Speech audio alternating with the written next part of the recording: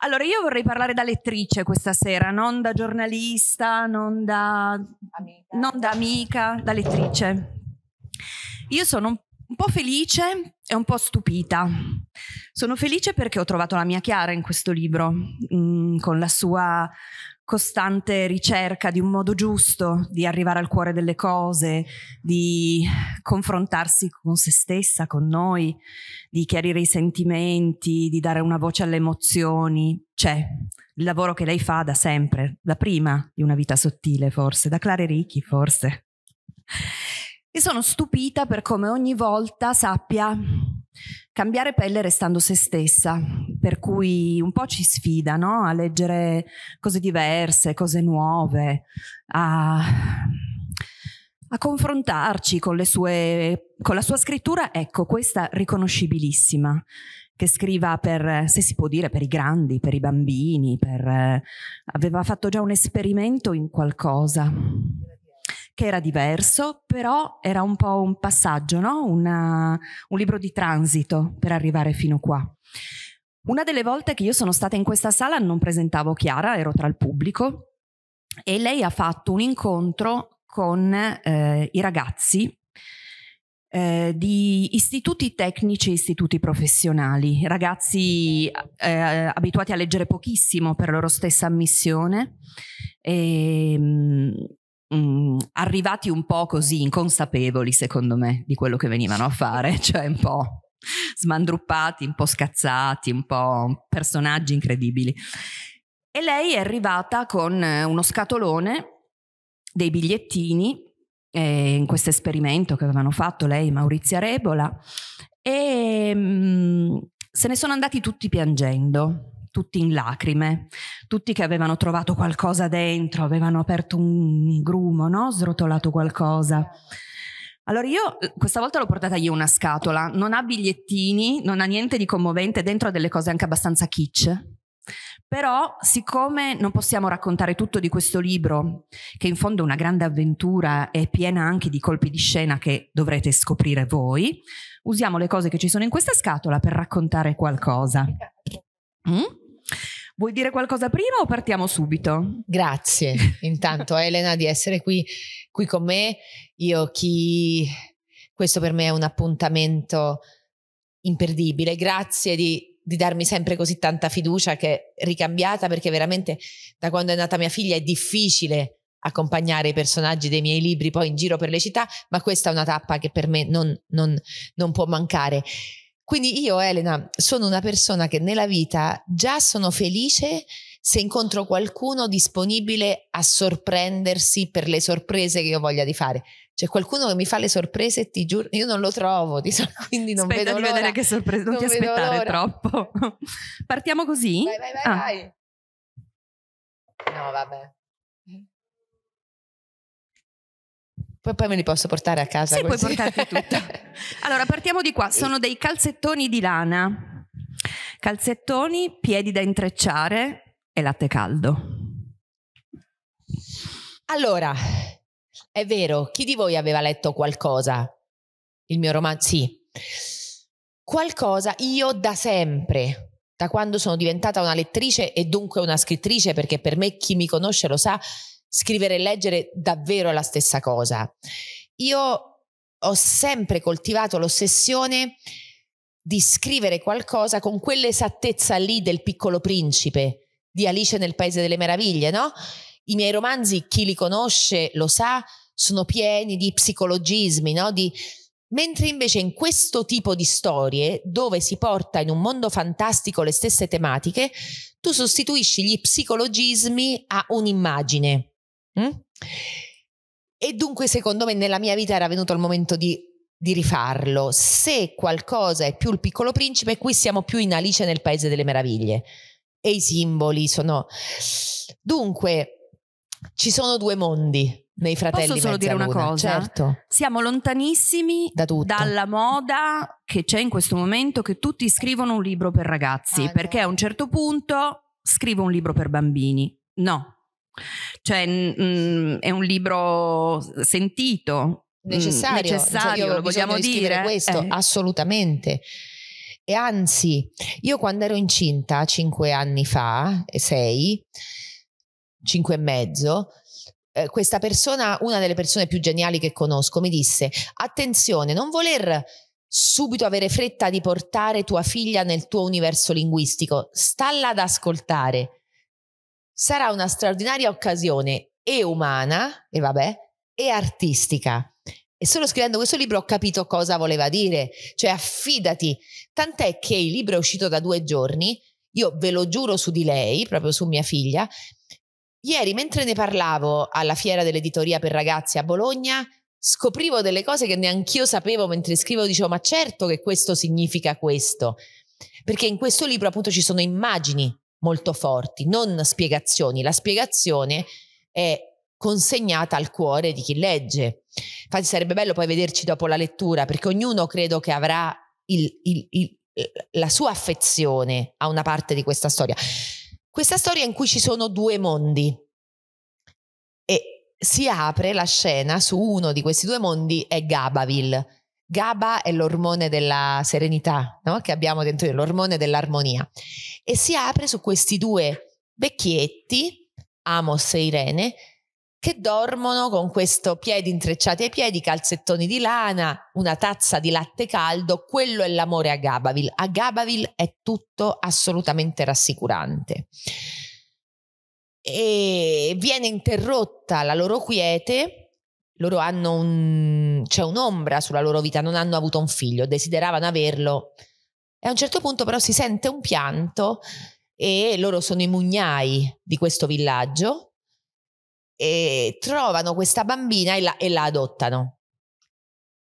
Mentre hanno i calzettoni ai piedi, non, sapre, non, non si possono immaginare che stanno accogliendo una creatura che con i calzettoni non ha proprio niente a che fare, è proprio anzi una persona abituata più alle nudità, al, cioè una persona di un altro mondo, sai quando diciamo quella persona è di un altro pianeta? Ecco, in, un certo senso Maddie viene proprio da un altro pianeta ma l'amore in questo mondo, in Gabaville, ha proprio a che fare con i calzettoni di lana, con qualcosa che scalda, che rassicura. C'è un mondo, di cui poi adesso andremo a parlare, che fa da controcanto a questo mondo che è il mondo sottopelle, dove invece pensate un po' gli innamorati corrono nudi con una rosa in mano. Quindi proprio, no? Due modalità di intendere l'amore completamente diverse in questi due mondi. Eccola qua. La rosa, infatti, no, no, però non ha le spine che invece sarebbero fondamentali. Gli innamorati nell'altro mondo corrono nudi con una rosa in mano, quindi quanto di più contrario rispetto all'immagine latte caldo. Calzettoni. Anche le foglie di rosa sono importantissime, ve ne accorgerete leggendo il libro. Scrivono delle cose meravigliose sulle foglie di rosa i protagonisti di questo libro. Allora, tanti mondi, questa, è, e questa è una piletta a tre dischi, puoi fare tutti i mondi e i pianeti del cosmo e poi la luna, puoi fare il suolo lunare. Da proietti sul muro, non so, magari ci gioca questa vita. me la posso portare a casa. Puoi portarti tutto. sì. Allora, tanti no. mondi. Il mondo di Gabaville, il mondo oscuro che impareremo a conoscere e a visitare, il mondo, il cosmo, la galassia in cui questo c'è scritto sul risvolto di copertina, lo possiamo dire perché poi Vita si arrabbia se diciamo troppo sul romanzo, quindi navighiamo un po' a vista, in cui si è perso chi? Forse questo padre. Allora sì, più mondi. Più mondi, questa bambina che arriva a Gabaville scompiglia un po' tutto. Maddie, no, lei si riferiva al fatto che abbiamo fatto l'altro ieri che sembra a me due anni fa la presentazione a Roma al battesimo e c'era anche mia figlia sul palco che nel momento in cui ho cominciato a parlare diceva basta però stai raccontando troppo no, dice, basta ecco in effetti in effetti questo eh, è un modo stupendo per condividere le atmosfere di questo romanzo senza, senza svelare perché in questo romanzo vedrete ci sono avventure per i ragazzi e simboli per noi. Più mondi almeno due la luna. La luna è la porta fra questi due mondi, non vi svelo come e perché, ma la luna, che apparentemente è una certezza, in verità è l'elemento più ambiguo in questo romanzo. Io devo dire che chi conosce i miei romanzi lo sa, sono proprio una figlia molto più della luna che del sole. Cioè, mi fido più della luna che del sole e più vado avanti nella vita, Elena, più capisco che mi fido molto di più delle persone lunari che di quelle solari, che è stata una persona poi per un, una parola per un certo periodo abusata come solare, no? La persona lunare, io più vado avanti, più scopro che c'è stato un momento della mia vita in cui ho detto che belle le persone salde, però c'è una grande differenza fra essere risolti e essere semplicemente strutturati. A Gabaville tutti sembrano risolti, cioè la persona strutturata è una persona che ha deciso di rimuovere delle cose e dire ok, vivo così, amo così, sono felice e sono triste così. La persona risolta inevitabilmente passa dal mondo sottopelle, che è il mondo qui più, più pericoloso. Ed è un mondo di insidie, ma un mondo dove io sempre di più sono convinta che, che sia necessario passare per arrivare davvero a una Gabaville che non sia finta. No, di questo ne sono proprio, proprio convinta. E questi due mondi rappresentano un po' le insidie che io in questi miei 45 anni ho capito essere le insidie più pericolose per l'animo umano. Cioè, da una parte, la rimozione delle emozioni negative. A Gabaville si rimuove. No? Stiamo contenti, non ne parliamo. Mm? Facciamo finta di niente mentre invece nel sottopelle si rimane troppo attaccati a quello che ci fa male. E infatti il grande nemico è l'oscuro, lo diceva Elena, e l'oscuro che cos'è? L'oscuro è una forza misteriosa che le persone, mentre stanno elaborando le loro rabbie, i loro lutti, le loro, eh, ti fa addormentare e la mattina dopo ti risvegli esattamente dove eri il giorno prima. Non ti permette di andare avanti rispetto alla tua ossessione, al tuo dolore e quindi i miei protagonisti invece tentano eh, realisticamente, con le loro avventure, con i loro Noi simboli. eravamo rimasti al fagottino, sì. al fagottino che era arrivato. Amore, sì. Mm. Lei io l'adoro. Una diversa. Maddi la matta che a un certo punto diventa Maddi la mamma. Mm. E questa immagine e questa... Hai detto tu. Vabbè, io poi questo è un posto di confidenze per me. Io non c'è cosa che tollero meno delle persone che quando io, mia figlia ha 5 anni, a novembre ne fa 6.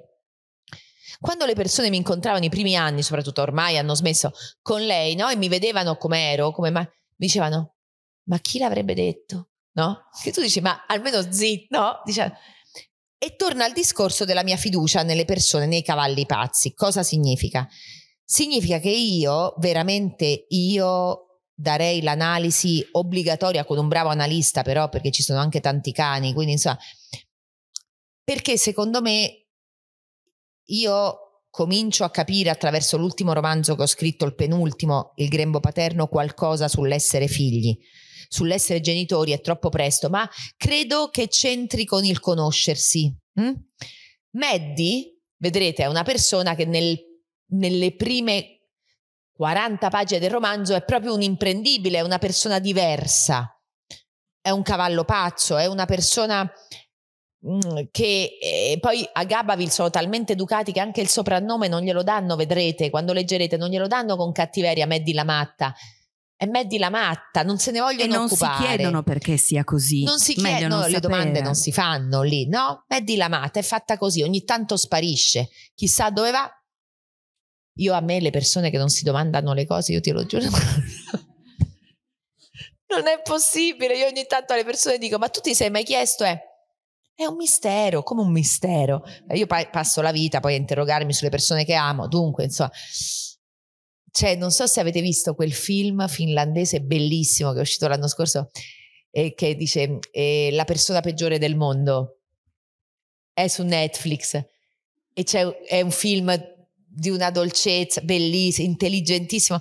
E a un certo punto lei al fidanzato dice: se voi uomini aveste le mestruazioni, noi femmine staremmo sempre a parlarne, cioè staremmo sempre a parlare di come vi sentite. No, no è bellissimo quel film, è di, una, di un'intelligenza, proprio ci queste donne che dicono ma come mai gli uomini non si interrogano su come stiamo noi se noi passiamo la vita in questo incessante quesito. Comunque al di là di uomini e donne, media è una diversa. Media una diversa e tant'è che quando arriva incinta nessuno si domanda chi è il padre nessuno. E siccome questi bambini nascono con questa luna spaccata a metà, ecco i gemelli mezzaluna. Due personaggi meravigliosi, diversi, complementari, eh, una domanda, una fa domande scomode, l'altro ha la capacità di capire e sono assolutamente complici. Eh, il patto con la loro mamma si rompe, anche questo sta scritto qui, quindi lo possiamo dire, per una bugia. Una bugia che lei dice a loro, non vi raccontiamo quale, e che però loro non le perdonano, anche se è una bugia detta a fin di bene. Allora si, si possono dire queste bugie a fin di bene? Regge questa scusa? Tu le allora, dici a vita? No, allora... Visto che bisogna fare domande. Io scrivendo questo romanzo, e questa è appunto una delle rivelazioni che mi ha fatto questo, questo romanzo, io sempre chi conosce i miei libri lo sa che non è che io sono una di quelle scrittrici che dice adesso vi spiego com'è la vita. Sempre da una domanda partono le mie storie, no? E poi mi aiutano i personaggi a capire qualcosa. Una delle domande che ossessiona tutti i miei romanzi è proprio ma quando è che l'infanzia finisce? Cioè quando è che sì? E credo che finalmente in questo romanzo mi venga incontro una risposta, cioè io credo che cominci a finire l'infanzia, che poi secondo me per certe persone dannate e fortunate non finisce mai, quando ti accorgi che i tuoi genitori non sono più mamma e papà, ma sono un uomo e una donna nel mondo che amano, che lavorano, che, hanno al- che sono altro, non sono solo i tuoi genitori. E questa è una bugia, Elena, fisiologica, cioè possiamo fare di tutto, ma è l'essere umano che si crea, dice, ma per esempio io vedo mia figlia che eh, ha quel che si chiama l'attaccamento sicuro con me, perché più sicuro di così, noi viviamo in una quasi simbiosi, ma Vedo che l'ho visto durante un festival che curo a Procida l'estate e l'ho visto l'altra sera al battesimo di questo romanzo. Quando mi vede su un palco, ha il bisogno proprio no, di stare attaccata, quasi a dire: Oh, ma tu sei mia mamma, no? Ricordami che sei mia mamma, che non sei poi di tutti, sei mia mamma. Lo sento in lei questo. E questo è un discorso, quindi c'è la bugia fisiologica che ci diciamo da soli, che i nostri genitori, che ce la diciamo da soli, ce la facciamo, perché poi tante bugie, diciamoci la verità, tante bugie sulle persone, quando uno dice a un'altra persona tu mi hai deluso, quello dice ma il film te lo sei fatto tu, ma mica io te l'avevo da, cioè te lo sei scritto, sceneggiato, hai fatto la regia, non sempre l'altro mente, cioè non sempre l'altro vuole ingannarci spesso sono proiezioni, quindi da una parte i fratelli Mezzaluna, vedrete, sono a tu per tu con questo, dall'altra lei ha dovuto proteggerli da una verità incandescente. Non lo so, io sono convinta, noi siamo, Elena, la prima generazione psicanalizzata, no? Cioè c'è... Mm, eh, I nostri genitori, noi li abbiamo proprio denunciati perché non ci capivano, non avevano gli strumenti, no? Eh, e noi ce l'abbiamo, noi gliel'abbiamo abbiamo preteso da loro gli strumenti, ci siamo fatti delle domande. Io una volta a mio padre ho detto, dico, ma noi abbiamo un problema con la passionalità, io e mio papà con, mm, condividiamo questo, dico, lui dice però ti deve, cioè io mi aspetto tanto dalle persone e quando non mi danno quella cosa mi aspetto mi scaldo. Allora dice però basta. Dico però tu l'hai risolto a 65 anni. Dice ma io ti ho pagato un sacco di sedute d'analisi. Cioè, no, dice a me non me l'ha pagate nessuno, tu devi fare prima. C'ha ragione, cioè in un certo senso ha ragione. loro sono stati denunciati da noi. Quindi secondo me noi con i nostri figli, la nostra generazione ha un po' la responsabilità di trovare le parole per dirlo. Eh, io ho letto mm, solo un mese fa La vita bugiarda degli adulti di Elena Ferrante, no? questo titolo. Cioè, noi, io credo che noi diventiamo un po' colpevoli con tutto quello che sappiamo, che abbiamo letto, che abbiamo scoperto come figli. Credo che un po' di verità ai nostri figli gliele dobbiamo, perché io da bambina niente ho sofferto di più di quelle atmosfere cupe ma incomprensibili che nessuno mi dava gli strumenti per interpretarle. Dico, ma che stava succedendo fra mia mamma e mio papà? Perché poi stiamo a tavola come se niente fosse? Ma che cos'è questa atmosfera? Senza trasformare il figlio nel nostro psicanalista, perché quello sarebbe un altro. E quindi invece però qui, qui in questo romanzo ci sono è... degli adulti che chiedono scusa poi. Certo, eh. certo, ci chiedono scusa e poi soprattutto la bugia è stata detta perché era veramente incomprensibile quello che capitava dall'altra parte. Mm? Però loro decidono di fuggire, di trovare la loro la verità, o meglio, all'inizio decidono di fuggire e basta e poi vengono presi in questa che è davvero una grande avventura e devono affrontare delle prove. A un certo punto arrivano in questo mondo in cui si rendono conto presto che loro non conoscono nessuno, ma gli altri conoscono loro. E sono chiamati a superare delle prove sempre più dure, sempre più ardue, anche un po' paurose, eh, che li porteranno a raggiungere qualcosa. Incontrano dei personaggi meravigliosi. Vabbè. Più buono del gelato, pistacchio e cioccolato c'è solo? No, lo zucchero filato. e questo come si fa? Questo si mangia senza la bacchetta, lo tiri fuori vabbè, e lo mangi no, come vabbè. se fosse rotolato sulla bacchetta. Le fate un applauso per favore, Elena, no, perché quando no... Vi prego, ricordatevi di questo momento quando leggete il romanzo, perché veramente dici, ma com'è possibile che abbia trovato... Sì, anche questa non è una novità nei miei romanzi, che le imprese emotive siano imprese di gruppo. Non è una Anche novità. della tua vita a un certo punto, eh, certo. scusa. Eh, cioè dire. che sia un'impresa di gruppo, cioè il credere nella famiglia alternativa, arrivano, vengono sbattuti nel mondo sottopelle, questi gemelli, che è proprio la metafora di cosa succede a noi quando abbiamo una delusione, cioè quando stiamo male o anche quando stiamo troppo bene, ma quando comunque perdiamo il controllo, veniamo sbattuti nel sottopelle. Che è questo mondo, vedrete che io l'ho proprio, c'è proprio una geografia di questo mondo, c'è il fiume Rosicone che è il fiume della rabbia, la palude del Tu non vali. Lì ci arriva chi va via da casa. La strada si chiama Via da casa, grazie di averla ricordata perché ancora non l'avevo fatto e invece è importante che la strada proprio per arrivare si chiama Via da casa, quindi non è che importa dov'è che vuoi andare, brava, che proprio vai via, capito? È quello. Infatti dice, io, noi, non, chi capita in questo mondo non è che vuole andare da qualche parte, vuole andare via da, ma non capisce bene dove sta andando, perché è uno di questi personaggi, il loro Virgilio è Chimera, che è un personaggio inchiodato nella sua mortificazione e mh, mm, nella sua ingiustizia subita anche questo io credo che sia un tema oggi, ai tempi dei... Mm, io una cosa dico sempre a mia figlia, dico sempre, ma ci credo profondamente da persona profondamente gelosa, ma davvero, davvero non invidiosa, zero. Dico sempre, meglio invidiata che invidiosa, no?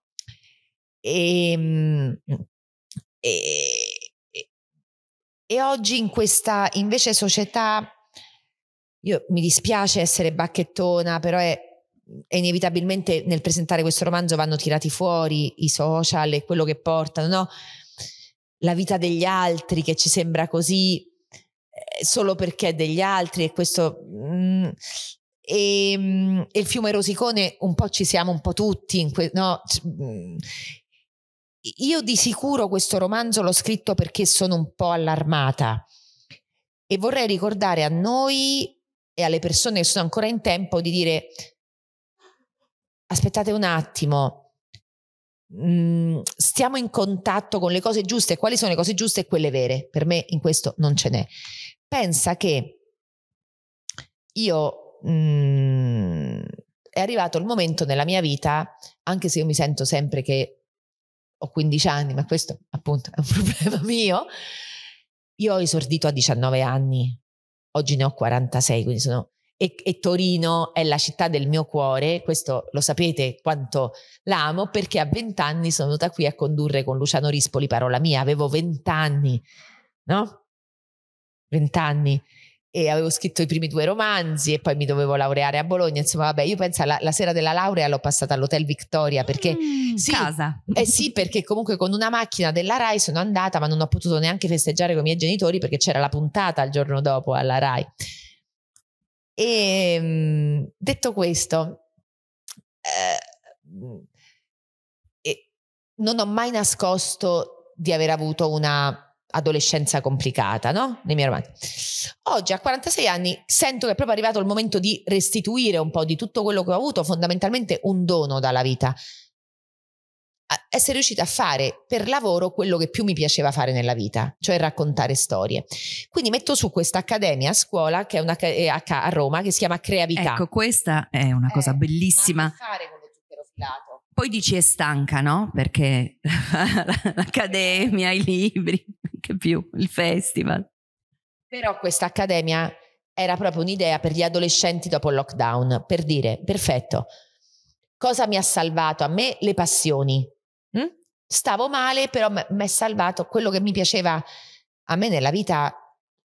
Ero molto compromessa, però mi piaceva leggere, mi piaceva scrivere, mi piacevano i ragazzi, mi piaceva viaggiare, cioè Avevi delle passioni, avevi qualcosa dentro. Che alla fine hanno... Cioè le emozioni le avevi.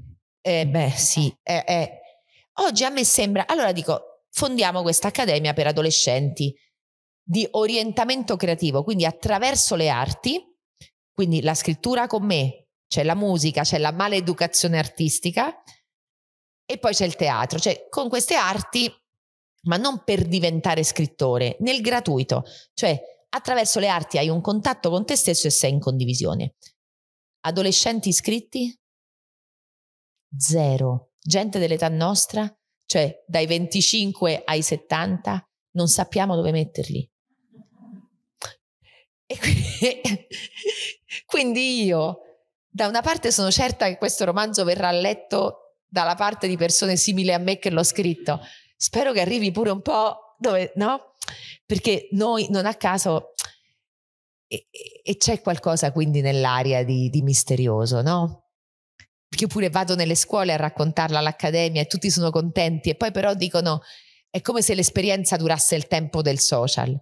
E invece in questo romanzo, Chimera che arriva e fa da Virgilio, proprio ricorda, forse rivela ricorda al lettore, ma rivela ai gemelli Mezzaluna che per instaurare delle relazioni ci vuole tempo, cioè che è importante quel tempo passato, no? che, che, che, e che le imprese di gruppo non fanno, se sono davvero di gruppo, non tolgono forza all'identità, ma anzi la rafforzano. Questo, vabbè, io in questo credo profondamente. Quindi. Una cosa così dolce a Chimera ricorda invece il momento più brutto della sua vita. Lei è un po' l'emblema, lei è un altro dei protagonisti che ci saranno lì, che è un po' bruttino, eh? le ingiustizie subite. Il, ed è proprio questo che si coltiva lì, il rancore, no? Nell'oscuro fa rimanere i, i, chi abita nel mondo sottosopra inchiodato alle sue tristezze, al suo rancore, alle ingiustizie subite, alle brutture della vita. Mm? E, ehm, però anche in questo mondo così complicato, questi riescono a fare gruppo, riescono a eh, trovare l'uno nell'altro il bello e anche a far capire l'uno all'altro che non bisogna essere perfetti, no? Per accettarsi e per piacersi, in particolare a uno dei personaggi che bruttino lo è forse per davvero e la sua mamma glielo fa capire a tutti i costi. I due protagonisti sono arrivati lì, ve lo ricorderete, arrabbiatissimi con la madre, pieni di rancore e di rabbia. A un certo punto però, in questo mondo che li mette insomma di fronte a delle prove dure, anche a delle tristezze, eh, si ricordano, anzi capiscono alcune cose, una in particolare, poi puoi anche prendere Nostra mamma ci ha sempre fatto sentire belli e speciali per come eravamo, non dimentichiamocelo. Forse vuol fare una cosa che adesso non vi dico perché sennò la pizza di mamma non dimentichiamocela. Questo è un palloncino, non lo gonfiamo, però è, una, no, è fatto a forma di pizza. La pizza è importantissima in questo libro. Il, il, la, pizza, la pizza, il pane, la farina, il panificare. Il... Che c'è? No, che, che vabbè, che grazie. Sì, ma come sono sempre importanti. Um, io credo che alla fine nella vita quello che è importante vinca. A me piace pensarla così. E loro sono proprio, vedrete, che chiunque ha attraversato una delusione d'amore o un, una crisi, crisi, no? Con quel significato così importante che la parola porta, chi non lo sa, che, che in greco vuol dire scelta, la crisi, no? Cioè, eh, chiunque ha attraversato una crisi in una relazione fondamentale sa che c'è il momento della rabbia accecante e poi arriva la pizza. Cioè, quelle cose che dici, eh, però quella pizza fuori eh, e come mi conosci dentro. quella cosa del tutto ehm, io guarda più vado avanti c'è una pagina di Proust stupenda dove dice io mi sono sempre fidato dei gesti involontari quanto è vero no delle persone che amiamo quanto i gesti involontari sono sempre più importanti delle cose, no? Um, delle spiegazioni. Io credo che sia importante che le persone si rispettino, tu quindi cosa fai in questo senso? No? Cioè di, io le dichiarazioni non le ho mai amate, chi conosce i miei romanzi lo sa, che non, a costo di andare nell'antiretorica proprio non, non, non mi piace stare nella dichiarazione, mi piace che i gesti dei miei personaggi rivelino qualcosa che loro hanno dentro e quindi in questa enorme elaborazione della loro delusione io proprio ho consegnato ai fratelli Mezzaluna eh, tutte le mie delusioni amorose, cioè che quando è molto diverso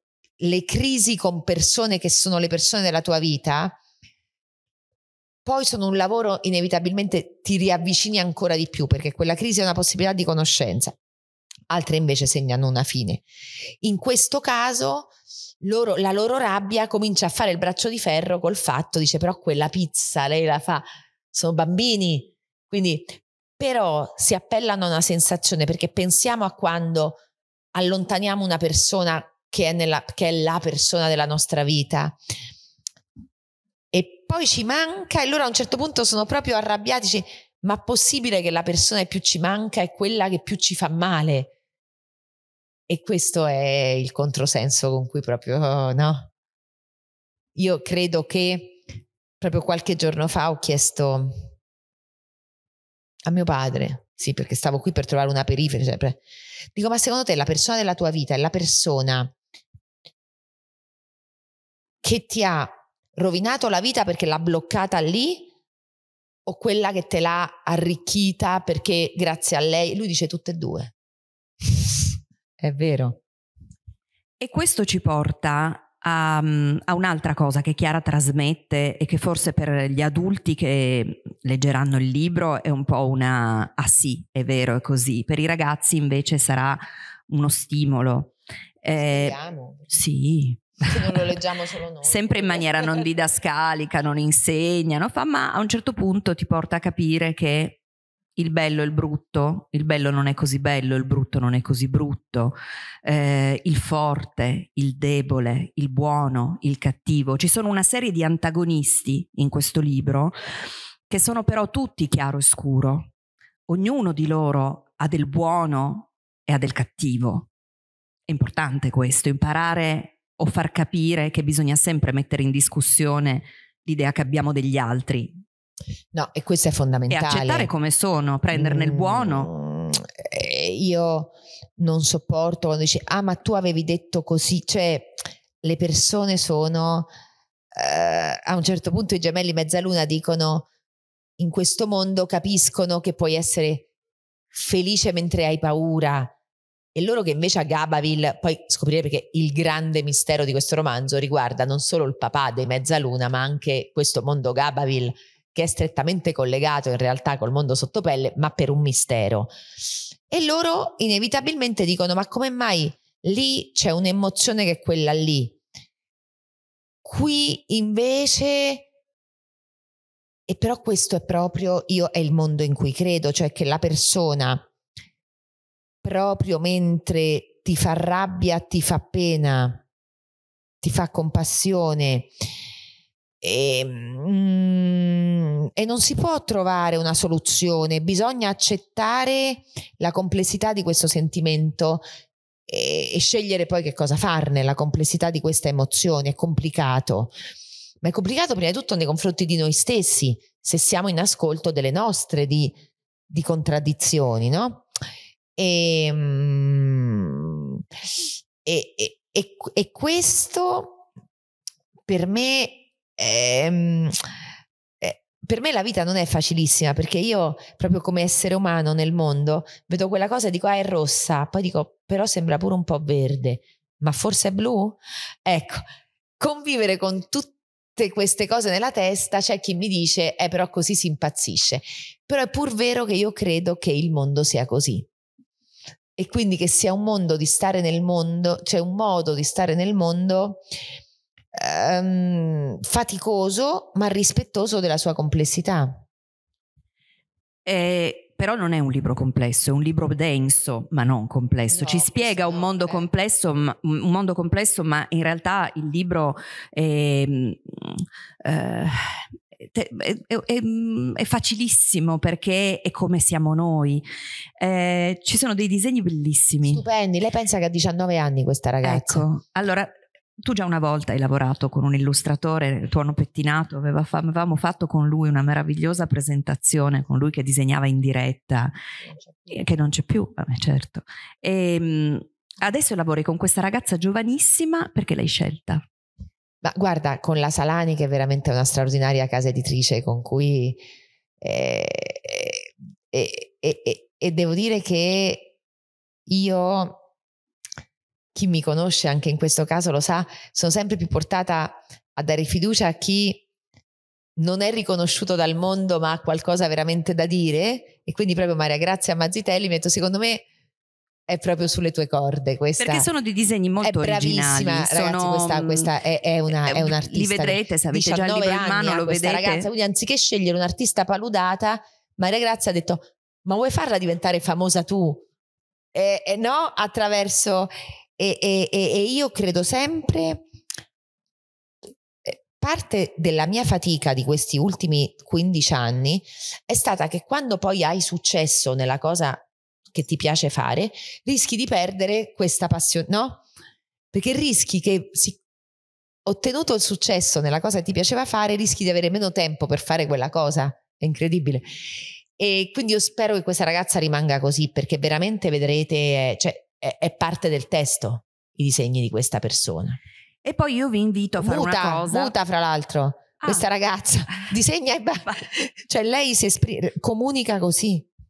Sì, sì. No, pensavo mi dicessi muta, sta zitta, no, tu, ma figurati, no, no, questa ragazza è muta, no, è, è, è, incredibile che parla disegnando. Allora io vi invito ad andare nell'ultima pagina ah. subito, cioè fatelo subito. E io sono veramente dispiaciutissima che questa sera non ho portato insieme a tutto il mio ambaradan anche una cassa per farle sentire. sentire. Dovevamo sentirle, sì. Perché eh, due sono mm, proprio belle. Due sono bellissime, ma secondo me se io lo faccio qua non si sente niente, scusate, eh.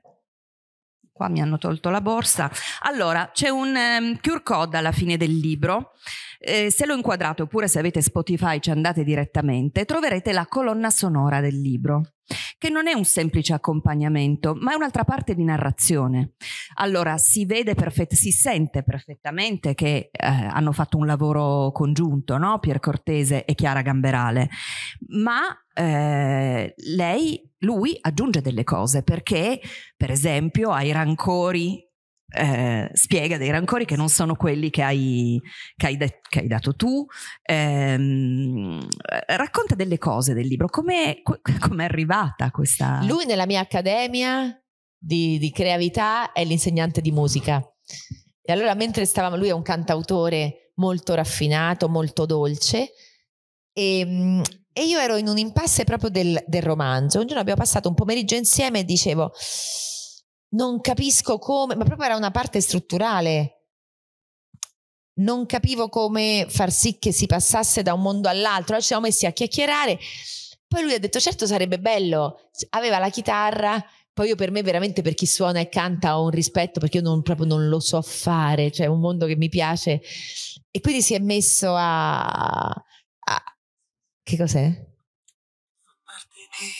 Questa è sottopelle sottopelle come qualcosa che c'è, che non si vede ma si sente e che fa parte di te.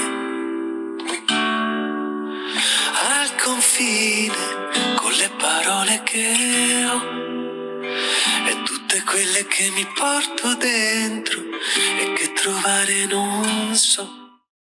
E questo è tutto suo. Nel senso, queste canzoni, tranne una, Gabaville, sono tutte da un pubblico più che adulto, nel senso ti fanno proprio pensare alla tua vita e alle tue relazioni. Questa, vero? Così, sì. Vero. Scusate, parte e poi il video è bellissimo perché a sua volta poi dopo il video ha messo a disposizione la sua infanzia per il video. Insomma, no, è stato questo un... Eh, io... Mh, mm, veramente questo è anche un libro che inneggia a c'è un capitolo che si chiama Non si capisce niente ma va bene così, non ci si capisce niente ma va bene così. Forse cioè, come loro stasera, sì, che noi siamo qua. Il dare... potere delle cose che non capiamo e la musica quindi a un certo punto arriva e io nelle cose che non capisco ho imparato a riporre fiducia. Mi piacerebbe sapere su che isola è nato questo libro. Ah no, pensa. Eh no, pensa che sì, è stato completato. No, però di fatto eh, chissà che, guarda, lo sto scoprendo stasera qui, chissà che eh, io, mh, mm, perché Elena si riferisce al fatto che io prima della mia vita, prima di mia figlia, andavo molti mesi l'anno in un'isola deserta a lavorare, a impostare i miei romanzi. Ormai. Io diciamo ho fatto proprio due. Eh, da quando c'è lei, il mio rifugio è Cetara, che è un posto a, a due ore da Roma Cetara devi arrivare in treno fino a Salerno e poi 20 minuti di macchina fino a Roma. E forse io sono diventata una penisola da quando c'è lei, non lo so, la sto pensando in questo secondo, perché infatti è stato scritto lì, a Cetara. Cioè, lì è da cui è più facile tornare. Eh, sì, mm. sì, sì, bellissimo, soprattutto fuori stagione. Poi devo dire che questo libro è stato cominciato in zona rossa, te la ricordi la zona rossa? in zona rossa fuori stagione a Cetara. Poi nel momento in cui ci sono entrata, mia figlia, nonostante sia troppo piccola per questo tipo di narrazione, però mi ha accompagnata molto, ci sono tanti regali al nostro mondo in questo romanzo. Una sciocchezza, piccole cose che quando leggerete capirete. C'è un cane a un certo punto che passa e si chiama Vicienzo anziché Vincenzo. E l'editor mi diceva: te lo correggo, Vincenzo, no, no, lascia Vicenzo, perché è un gioco fra me e lei che il nostro pupazzo si chiama Vicenzo, perché, mi ricordo in questo momento, mi fu regalato dai ragazzi dell'università che facevano da pubblico a parola mia qui a Torino a Natale perché l'ospite era Vincenzo Salemme della puntata di Natale a parola mia e mi regalarono questo pupazzo che quindi chiamai Vicenzo. Capito? Senti, non hai scritto un romanzo per ragazzi o anche per ragazzi perché sei diventata mamma. No, sono due cose diverse. Però lei è troppo piccola per questo tipo di narrazione, le hai raccontato la storia, gliene hai letto dei pezzi. Che hai fatto? Io quando ero a Cetara, quella settimana mandavo a mia mamma e a mio papà delle pagine che loro un po' gliela leggessero. Io credo molto, sinceramente io credo che un po' li sottovalutiamo questi bambini. Cioè io in prima elementare mi leggevo incompreso. Vabbè, tu. No, cioè. no, tutti noi, no, tutti noi, tutti noi, tutti noi, Elena, no, no, dai, erano letture, cioè eravamo, no, oggi ripensate, pensate che qualche tempo fa, adesso è uscita su una delle piattaforme le puntate di Lady Oscar, allora ho detto, dai vita, guardiamocele. La prima, vabbè, la seconda, vabbè, la terza, a un certo punto ci sono i monarchici, cioè c'è un bambino che chiede l'elemosina perché ha fame, no? E c'è la guardia del re, lo uccide. No, guardate, quella... E io dico, ma questo quindi... Io subito spengo, dico, vabbè dai, cambiamo, adesso non fa niente, no? Pensa a noi come eravamo abituati. Quindi da una parte però forse era troppo essere lasciati da soli di fronte, io poi mi ricordo che con particolare orrore al di là della proprio non capivo questo discorso di Lady Oscar che dicevano la preferita del re, dicevo ma come quello è sposato con la regina, che vuol dire che era la preferita? Proprio mi e dentro mi Già rovina... ti facevi domande. Sì, no, questo della preferita del re era proprio una cosa che non mi capacevo, dicevo, ma se è sposato con la regina, ma che vuol dire che questa è la preferita? Proprio ma questo me lo ricordo chiaramente in prima elementare, non, lo, non, non me ne facevo una ragione. Detto questo, oggi a me non piace quel tipo di narrazione di cartone animato, di libro, che un po' li fa scemo, cioè non, non, non, non, mi piace perché loro comunque... E, e, quindi in questo romanzo questo libro si prende carico di domande importanti sull'amore, sulla separazione, no? sul fatto che spesso le cose che amiamo di più fanno parte di un altro mondo, le amiamo le amiamo così tanto perché sono in un altro mondo o nonostante siano in un altro mondo. Io ho provato appunto a raccontarlo in una maniera, mm, come dici tu, facile, cioè in, in una favola, però le domande sono quelle scomode con cui io continuo a fare i conti. Hai scelto di presentarlo, avete scelto di presentarlo con un evento, sì. con una, in forma di spettacolo. Eh, quanto è importante secondo te raccontare i libri, spettacolarizzare i libri? E, oppure a te piace e non è importante? Cioè, eh, perché adesso lo fai spesso, ti viene anche molto bene, c'è da dire questo. Eh, non sarebbe necessario, secondo me, nel senso che eh, non sarebbe indispensabile, non necessario, perché il libro arriva lo stesso. Certo che l'emozione di un evento come quello che hai avuto a Roma lunedì aggiunge qualcosa. L'abbiamo trasformato in uno spettacolo come anche qualcosa. No, allora io Elena, questo intanto io di sicuro sono una persona... Ehm, eh, allora, ci sono due discorsi. Il primo, io credo in una cultura legata alla gioia, cioè io non sopporto quando vado nelle scuole e le professoresse mi dicono e diglielo che è giusto leggere. A me ha salvato la vita leggere, quindi più che mai negli ultimi vent'anni a me sembra che ci siano da una parte i buoni che leggono, che sanno, magari sono tristissimi, e dall'altra quelli che vincono e sono felici e ignoranti e sbagliano i congiuntivi. Non mi piace questo, cioè io tutto il mio percorso a costo di essere fortemente anticonformista, cioè mi piace proprio portare la cultura della gioia, cioè leggere è bello, Uh, a me, io quando a vita dico guarda che l'anno prossimo vai in prima elementare, scrivere eh, ti rende libera, cioè pensa che bello quando puoi leggere da sola e non, mm, la libertà legata ai, a, questi, a, questi, gesti. Quindi, Scusate, questa parola libertà è importantissima, Maddie è libera. Eh in sì. questo libro, non l'abbiamo detto, abbiamo detto che è diversa, è libera, è un personaggio importantissimo per quel motivo, scusami. È libera di amare l'uomo che ama, tant'è che diventa meno libera quando quasi mette in discussione la sua libertà. Poi vedrete perché, cosa, che scelta amorosa a un certo punto viene in mente di fare. Quindi un po' lo faccio proprio perché per comunicare questo entusiasmo e poi perché vabbè io chi ha letto qualcosa lo sa io ho un'energia di troppo che da qualche parte devo, devo buttare fuori questo è il mio problema è, è così e mi dispiace molto Elena perché sto adorando questa presentazione, perché mi dispiacciono sempre quando si parla di qualcosa per me così sacro.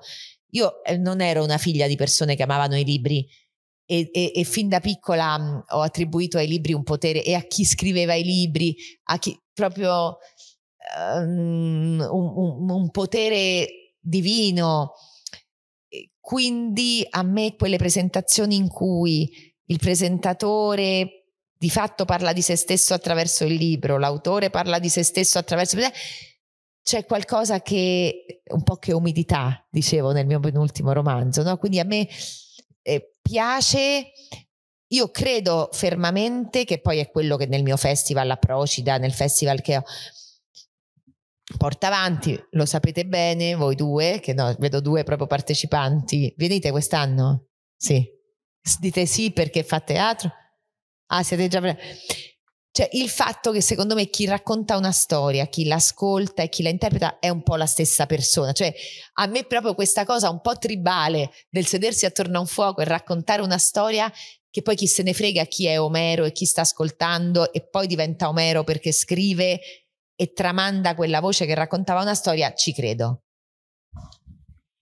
Eh, quanti di voi lo regaleranno a un ragazzino o lo leggeranno? Prego, tutti, regalatelo. No, eh. Qualcuno l'ha già letto? No, no quindi eh. abbiamo fatto bene a non dire niente, no, vedi? Sì. Allora, diremo meno ancora, sul finale ci sarà un colpo di scena su Gabaville. Tre. Sì, almeno, tre sì. almeno, ma io adesso mi riferisco a uno. Allora, questo è l'ultimo pacchettino. Lo capirà solo lei, è bruttissimo, spero che troverai un posto dove metterlo. Spero troverai un posto dove metterlo. Sulla... No, è la mole, no. in una bolla. e Torino in una bolla. Vabbè, Torino perché così le facciamo sentire che deve tornare sempre, perché questa è casa sua, più di quanto già lei non ce lo dica. La bolla perché capirete, non la rompere però. No, no. Ah. La bolla non si può dire, ma lo capirete alla fine ed è, è fondamentale. Mm? Allora è meglio avere la sensazione di essere felice e poi scoprire che era una bolla o invece vivere proprio scomposti con la sensazione sempre che manca qualcosa e però è tutto vero, quantomeno vedi tutto. Tu che dici? Un po' un po' si può fare, un po' un po', metà e metà. No. no. La seconda. La seconda? Sì, la, la seconda. seconda. sì, la seconda. E forse è un po' il finale di questo libro, no? Il, quello, che, quello, che, ci resta e quello che ci fa anche sentire bene alla fine. Alla fine sì. Alla fine sì. Mm. Non avete niente da chiedere, vero? Volete solo incontrarla? Grazie.